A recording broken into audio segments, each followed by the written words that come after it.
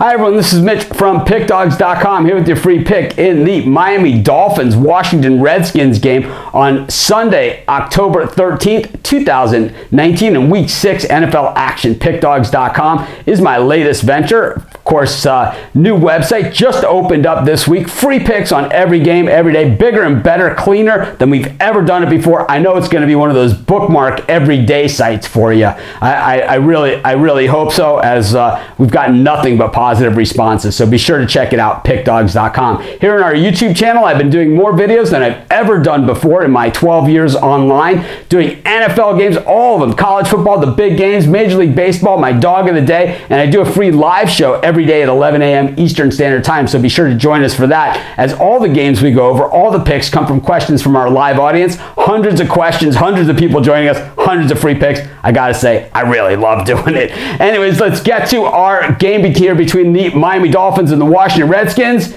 As they say in boxing, someone's O has got to go. But usually they say that when the teams are undefeated. In this one, they are winless. Of course, these are two teams that played each other in the Super Bowl twice. Man, these teams look a long way away from being in the Super Bowl. Redskins have a new head coach coming into this one. The Dolphins had a new head coach coming into the season. And neither of these teams seem to have a lot of direction right now. The Redskins have played pretty well in spots. And I'll tell you, they hung with the Patriots pretty good. They hung with the Eagles pretty good. Meanwhile, the Dolphins, they've been pretty much leveled all season long with uh, their one game where they kind of stood up was in the first half against the Dallas Cowboys.